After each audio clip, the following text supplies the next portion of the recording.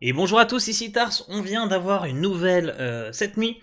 C'est XR, un des développeurs euh, de, l'équipe de Hearthstone qui s'exprime le plus, qui nous dit que euh, il va y avoir un nouveau patch d'équilibrage. Il n'a pas indiqué de date, mais je dirais que ce ne sera pas cette semaine, mais celle d'après, en début donc la semaine suivante, où ils vont... ils se rendent compte en fait que, bah, évidemment, Galacron c'est trop fort, c'est plus fort que nécessaire pour être fort en fait. Donc je pense qu'ils vont. Moi je les vois bien faire un petit équilibrage. Ils ont rien indiqué, hein, mais je les vois bien faire un, équilibrage au niveau de l'arme, je pense. C'est vraiment le Galacron au maximum qui est beaucoup trop fort. Là où des Galacrons, par exemple, en voleur Highlander qui sont souvent joués pour deux, c'est plutôt pas mal. Le Galacron avec l'arme et tout, particulièrement en chaman, ça fait super mal. Donc à mon avis, c'est là-dessus qu'ils vont attaquer. Peut-être pas détruire complètement l'arme, mais en tout cas l'affaiblir. Euh, après, on verra ce que ça donne. Hein. Et ils expliquent également qu'ils euh, ont en tête quelques changements pour euh, les decks non Galacron, notamment Guerrier Pirate et Voleur Aldagony. Alors Voleur Aldagony c'est un des meilleurs decks qui est à peu près au même niveau que le Voleur Highlander. Et le Voleur Highlander joue aussi le package Raldagony. Donc ce changement il devrait principalement avoir lieu sur l'apothicaire qui est la carte vraiment high roll qui fait, qui fait un peu mal. Mais surtout une question qu'on se pose c'est pourquoi ce changement sur le guerrier pirate? Parce que euh, bah, c'est un deck qui a un win rate correct, mais il, semble juste vraiment inférieur au guerrier Galacron. Du coup, je l'ai joué en Open Cup ce matin pour voir en me disant, bah, si les développeurs qui ont accès à toutes les stats, tous les chiffres de tout ce qui se joue sur le jeu estiment que le deck est trop fort, bah, il y a peut-être un petit peu de vrai, même si ça nous paraît pas flagrant. Et du coup, euh, bah, j'ai créé le deck et euh, je suis parti avec en Open Cup. Et ça s'est plutôt bien passé puisque j'ai fait un top 16. Alors ça apporte pas grand chose, top 16. Mais euh, ça veut dire que j'ai gagné quoi 6, 5-6 matchs euh, et le, guerrier pirate s'en est plutôt bien tiré. Pas particulièrement mauvais, mais pas particulièrement bon non plus par rapport à, ce qu'aurait pu être un guerrier Galacron. Et en fait, j'ai l'impression que on a quasiment la même puissance que le guerrier Galacron, mais on manque beaucoup de flexibilité parce qu'il n'y a qu'un seul moyen de construire le deck, il n'y a vraiment qu'un plan de jeu agressif. Là où en guerrier Galacron, tu peux aussi essayer de gagner de l'armure, bien tenir, enfin tu tiens un peu mieux les agros. Euh, et puis, bah, l'autre défaut, mais qui est peut-être une qualité aussi, c'est que il y a beaucoup de variance quoi. En fonction de si tu pioches ton arme ou si tu pioches pas ton arme, ça change vraiment tout. Alors que le guerrier Galacron, il est peut-être un petit peu plus stable. Ça veut dire aussi que ce deck-là peut faire des sorties beaucoup plus fortes, donc ça, ça peut être intéressant. Mais euh, voilà, donc je l'ai joué un peu et franchement le deck est pas mal. De là à dire qu'il mérite un nerf, je sais pas, mais ça peut être compréhensible. C'est vrai que quand tu fais une grosse grosse sortie avec ce deck, l'adversaire peut rien faire. Alors là, évidemment, j'ai une main horrible. Au niveau du mulligan, il y a un petit piège c'est euh, la, barge, c'est ça, barge du ciel, qui est pas folle à garder au mulligan, c'est une des meilleures cartes du deck, mais c'est pas non plus euh, voilà la carte qu'il vous faut absolument garder, puisque le, son win rate quand elle est dans votre main de départ est pas, est pas, est pas vraiment élevé. Donc en fait, quelles sont les cartes qu'on veut absolument? Oh, Ma main est terrible. Voilà, exemple typique de partie où on sort pas bien, on peut rien faire, peut-être que la suivante on va bien sortir, et ça va bien se passer. Euh, donc du coup, je disais, quelles sont les cartes à, aller chercher au mulligan? C'est avant toute chose l'encre. Si vous avez l'encre, donc l'arme légendaire, euh, vous êtes trop bien, votre win rate il est à plus de 70% en fait. Donc quasiment tout le deck repose sur le fait que cette arme soit piochée ou non. Je pense que c'est là-dessus qu'ils vont peut-être essayer de faire un petit nerf parce que c'est trop fort. Euh, trop fort et trop aléatoire.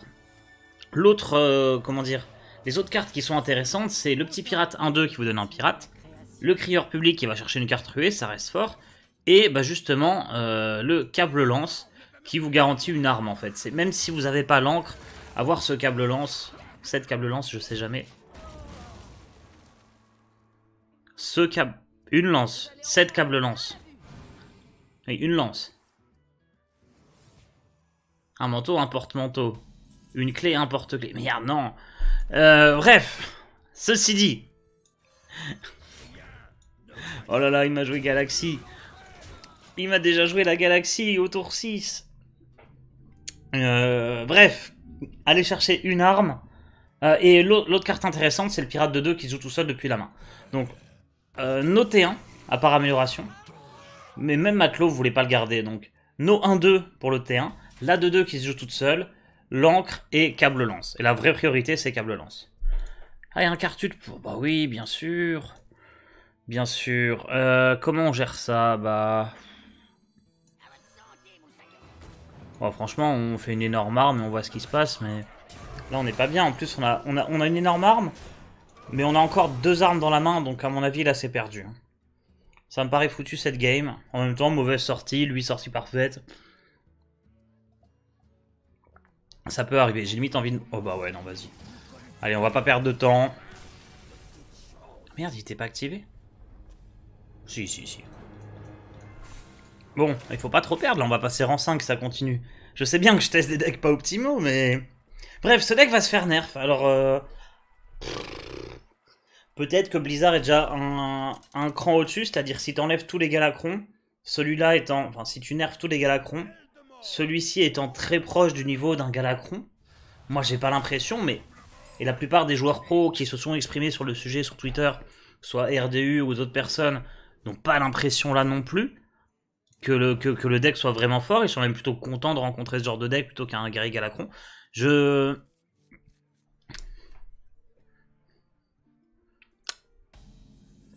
Peut-être que Blizzard anticipe. Oh, amélioration, c'est nul. Regardez, j'ai encore une sortie nulle. Je vais devoir jouer une 2-2 pour 2.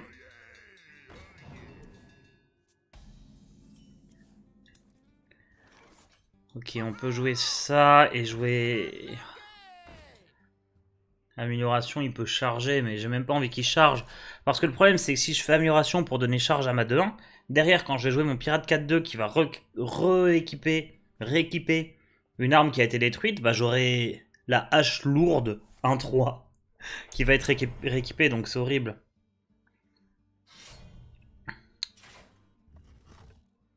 Hmm. J'ai l'impression que si j'ai pas d'armes, là, je peux, je peux partir encore. Hein.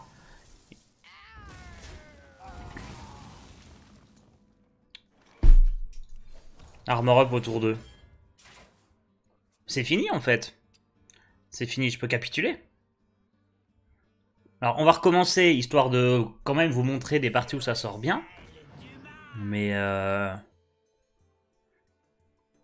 Ah, j'ai Leroy qui est injouable. Lui, il a un dragon féerique qui peut être un peu chiant.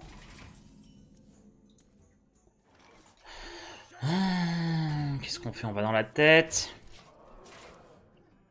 Avec Crieur, qui va chercher la momie, ou peut-être la corruptrice, ça peut le faire. Momie de préférence, ça serait bien. Euh, si on récupère une arme, qu'on la booste, que lui il a pas de taunt, qu'il a pas d'armure, je, je, sais pas. avec des laquais et cette carte en main, à mon avis, il trouvera forcément de quoi m'embêter.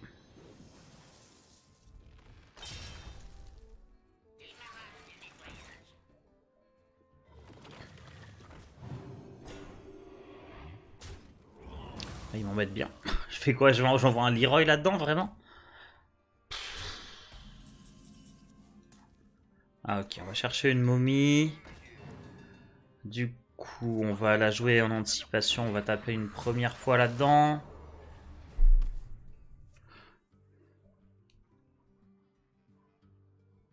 Le problème, c'est que lui joue des vraies cartes euh, à côté quand nous joue des petits pirates nuls. Ah non, ça c'était le, le, le truc de trop.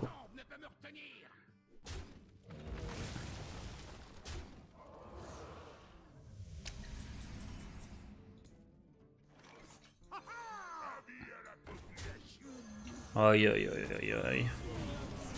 Je suis en train de me battre avec un deck qui est quand même assez all-in contre un mec qui lui a cette petite carte dans la main et a 36 PV. C'est moi le deck aggro là, oh c'est moi le deck aggro. Qu'est-ce qu'il me fait là?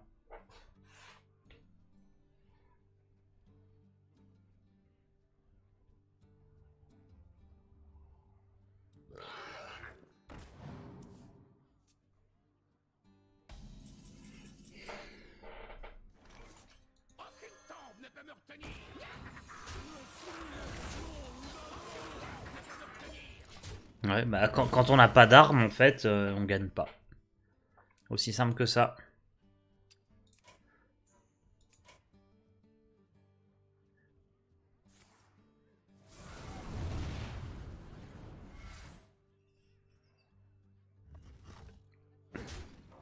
Son Galacron qui commence à être amélioré. Aïe aïe aïe aïe aïe, une arme.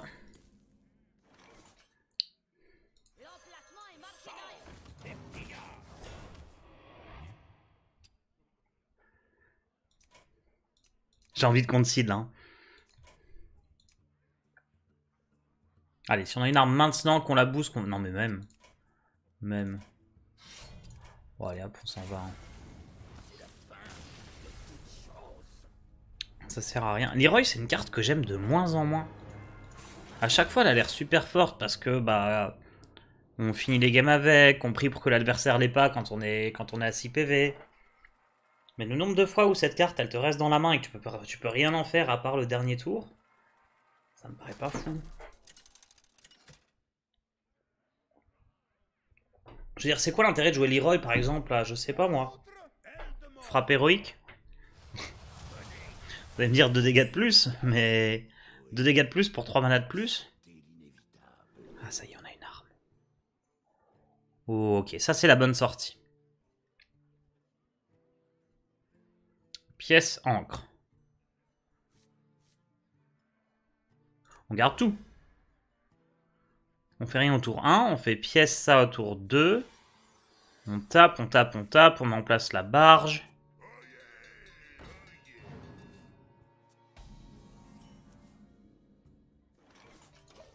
Ok, ok. Là, c'est une sortie où normalement on a l'encre, donc on a 70% de win rate.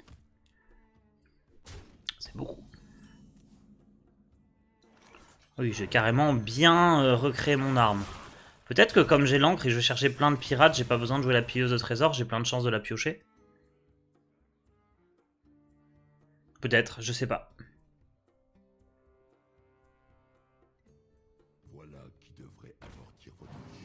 Ah, un peu chiant ça, je peux pas le gérer.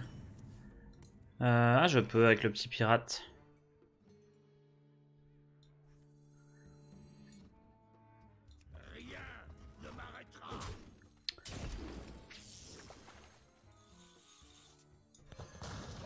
Même jouer ça. Si jamais, si jamais elle survit, ça me fait tellement de dégâts avec euh, la brigande parachutiste que j'ai envie de le tenter. Ça ne survivra pas.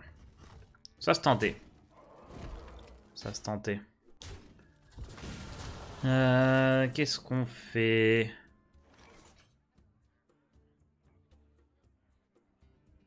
Je pense que c'est le moment de jouer des pirates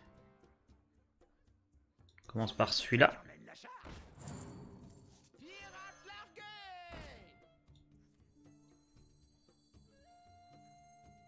Une 3-3 taunt ou une 3-3 pas taunt?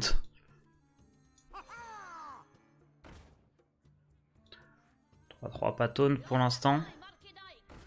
Je me dis que plus tard dans la game, elle coûtera peut-être 0. Euh, ou en tout cas un de moins. Derrière, derrière, on refait pieuse, on va rechercher l'encre. On continue de piocher des pirates.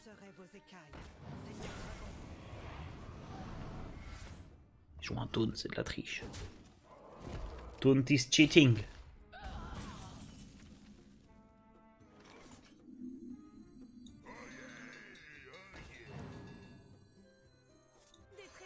Tentant la momie, mais...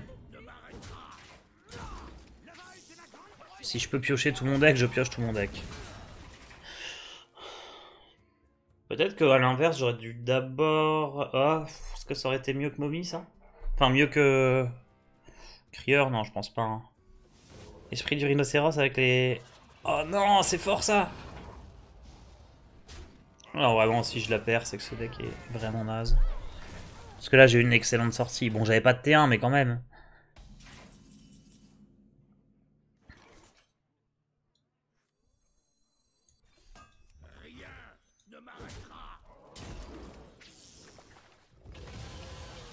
Ok.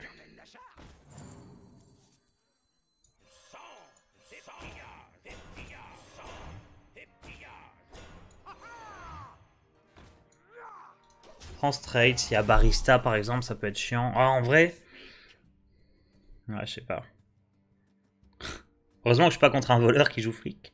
Eh, j'ai un triple là Eh oh Admin J'ai trois pareils, ça doit faire un doré normalement.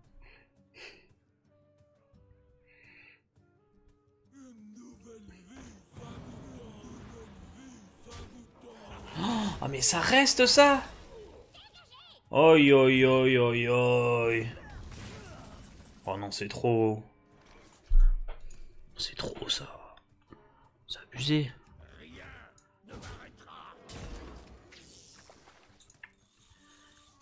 Ok.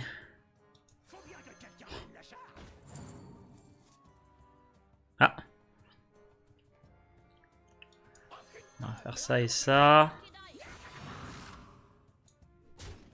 Hop. Hop et hop. On est à 11 PV. C'est nous le deck aggro, on est à 11.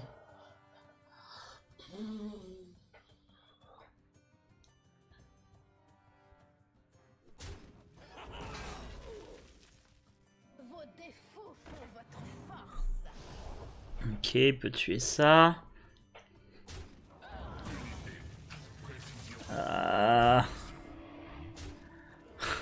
Il va être à 32. Oh, c'est trop. C'est trop. Euh, bon. Furie des vents, je pense pas que ça m'aidera beaucoup.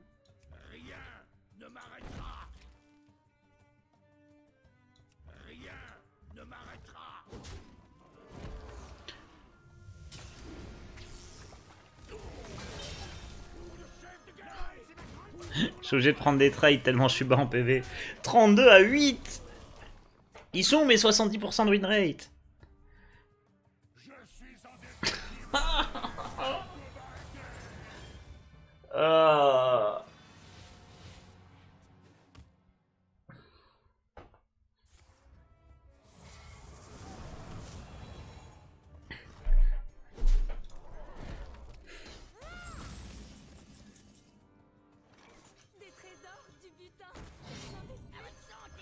À l'attaque J'ai plus de pirates dans mon deck. Ah, j'ai plus de pirates. Ah si. Quand il y en a plus, il y en a encore. J'ai plus que 8 cartes. C'est-à-dire que le mec, m'a géré 20 cartes. Tranquille.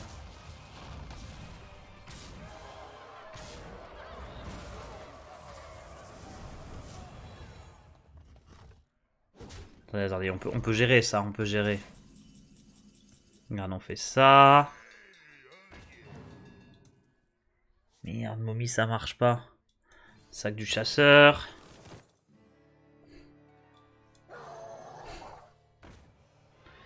Euh, voilà, on gère. Facile.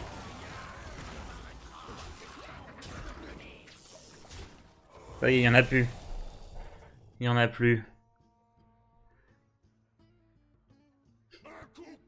Un coup colossal. Eh, mais il a le Galacron en doré. Oh, le mec trop riche. Bon bah voilà, bon deck, donc euh... bah, on comprend, hein, on comprend pourquoi Blizzard... Euh... On comprend pourquoi Blizzard a décidé... Euh, attendez, c'est où? De nerf ce deck? Voilà, hein. Les changements légers pour euh, le guerrier pirate, le voleur d'Estrattle. Bon, j'espère que ça aura l'impact euh, attendu. Et donc je vous dis à la semaine prochaine ou peut-être dans deux semaines pour ces nerfs, on verra ce que ça donne. Et puis comme d'habitude, hein, je stream les matins et une vidéo dans la mesure du possible chaque jour. Ciao